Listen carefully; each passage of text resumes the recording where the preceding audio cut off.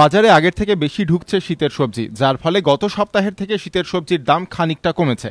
যদিও অন্যান্য সবজির বাজার দর এখনও চড়া, ফুলকপি বিকোচ্ছে পনেরো থেকে পঁচিশ টাকা দরে, বাঁধাকপি চল্লিশ টাকা পিস কড়াইশুটি আশি টাকা কেজি, চল্লিশ টাকা কেজি পালং শাক, লাল শাক পঁচিশ টাকা ও গাজর চল্লিশ টাকা কেজি, আশি টাকা কেজি দরে বিকোচ্ছে উচ্ছে, কাঁচা লঙ্কা ষাট টাকা কেজি।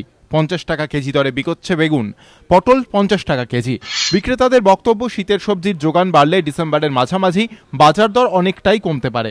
আর শীতের আনাজের দাম আস্তে আস্তে করে কমছে। কিছু কিছু সবজি পর্যন্ত যেমন পটল ঝিঙে উচ্ছে ভেন্ডি এ তো গরমের সবজি। এগুলো তো একটু পাওয়া যাবে না দাম বেশি হবে।